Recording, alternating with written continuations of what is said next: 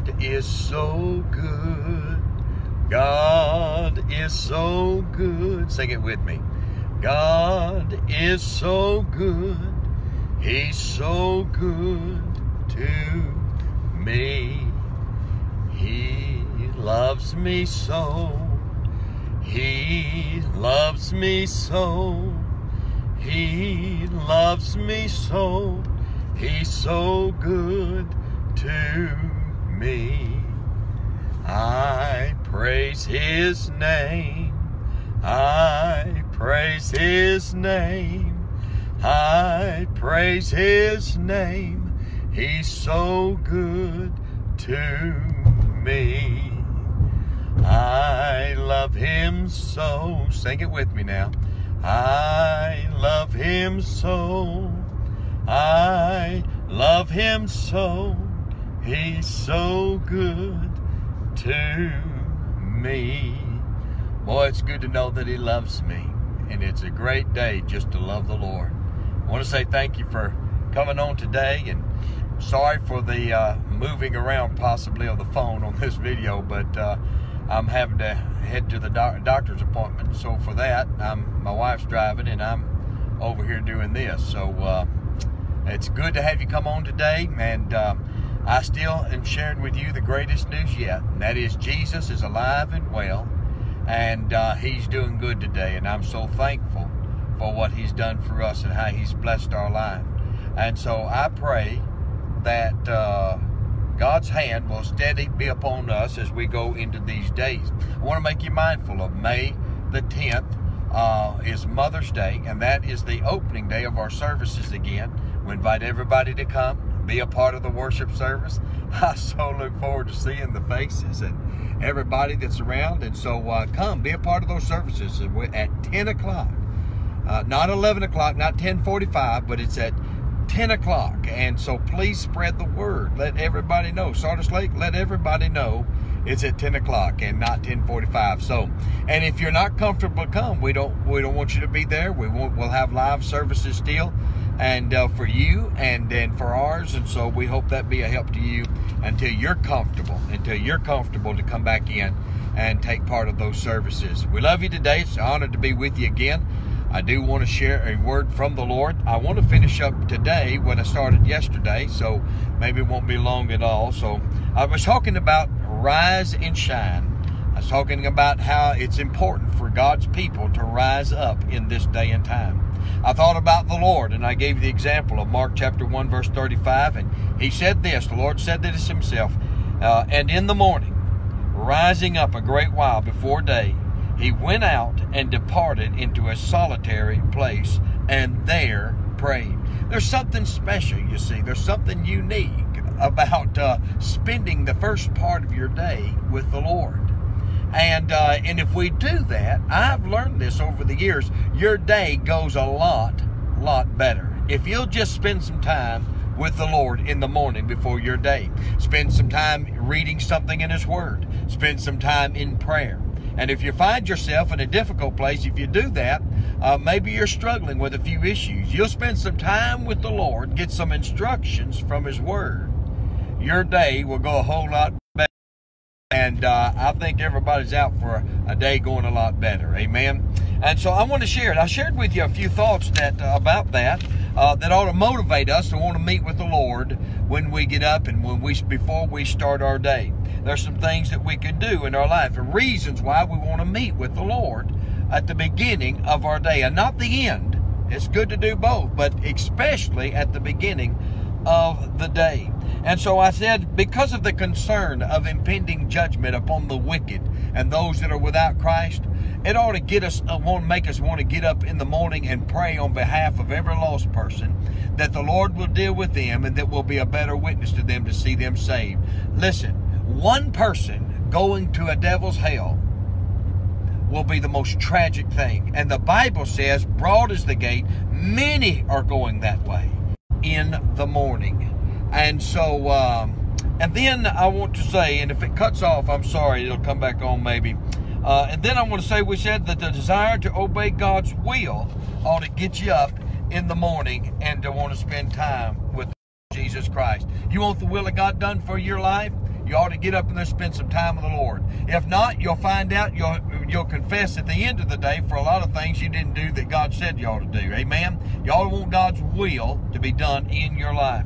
And then the plan to fulfill God's mission in your life ought to get you up in the morning and spend time with God. Because you ought to want God's mission, His work, to be accomplished in every day of your life. Thought about Exodus 8 and 20. And the Lord said unto Moses, Rise up early in the morning and stand before Pharaoh. We talked about everybody's got a Pharaoh in their life they're dealing with. Everybody, every Christian has a Pharaoh somewhere that you're going to have to face. Many Pharaohs in your life that you're going to have to deal with. And so we need to get up early in the morning and ask God about our mission, about what He wants us to do uh, in our life. And then, dear friend, uh, we talked about the expectation of a day of victory ought to make us want to get up and meet with the Lord uh, in the morning before we start our day. Uh, because I want to tell you, I don't expect defeat. I want victory in my life. Amen. I believe victory. I'm tired of seeing God's people walking around defeated.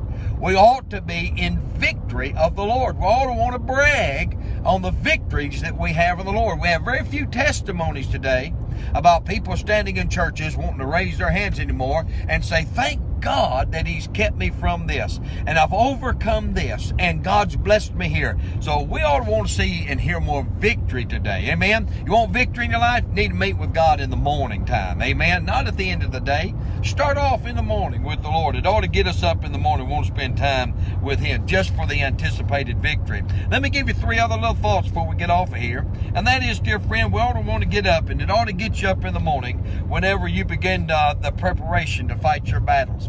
Every one of us have battles every, every day of our life. And some days are harder than other days. And dear friend, when we have battles in life, we need to be able to get up and meet with the Lord for instructions for the battlefield. We need to know. We need to suit up with the armor of God. We need to do what God's word says, but we need to be meeting with the Lord at the first part of the day so we'll be ready to fight the battles we've got to fight. The Bible, he did that. Joshua did that. He wanted to prepare to fight the battle of Jericho. And the Bible says in Joshua 6 and 12, and Joshua rose up early in the morning. David did it in preparation for the battle, his fight against the giant. In 1 Samuel chapter 17, matter of fact, in verse number 20, and David rose up early in the morning. Now, some days we need to get up. We need to get ready for the battle. And to do that, we need to spend time with the Lord Jesus Christ. Nothing sweeter, dear friend. You want victory in your life? You've got to get ready for the battles in your life. And the Lord wants to do that, but we've got to spend some time with Him uh, at the first part of the day. Dear friend, I, I know that there's a lot of Baptist folks that might be listening to me, and I've got to tell you, uh, the kind of fighting we do sometimes is not the Baptist way, it's not the kind of way God wants us to do them we ought to, dear friend, be fighting the, not each other. We ought to be fighting the good fight of faith. Amen. And serving the Lord and pleasing Him. And we, we got to be ready to fight against the world, the flesh, and the devil. That's our enemy. The world, the flesh, and the devil. That is our enemy. And then we need to find the source of our real spiritual problems. To find the source of your real spiritual problems, we're going to have to get up and spend some time with the Lord. The Bible says in Joshua chapter 7 and verse 16, So Joshua rose up early in the morning. And you know what, dear friend? He the source of some real spiritual problems. Therefore, Joshua rose up in the morning to get to the root of all that was going on. The nation of Israel at this time was a type of an individual Christian that had fallen in battle. And God said that there was sin was the problem. Sin was the problem in the camp. And he had to root it out. He had to find it out. Dear friend, if you've got sin you're harboring in your life, confess it before God. Get it right.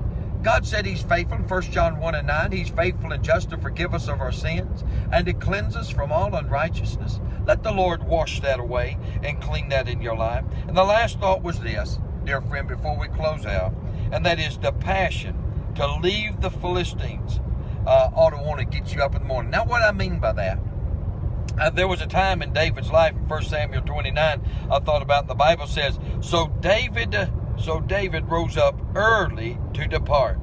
You see, there was a time that he was running from his, his son. He was running from Saul. He was running from some others. And because of his strife with Saul and under the people God of in Israel who served under Saul, David had fled.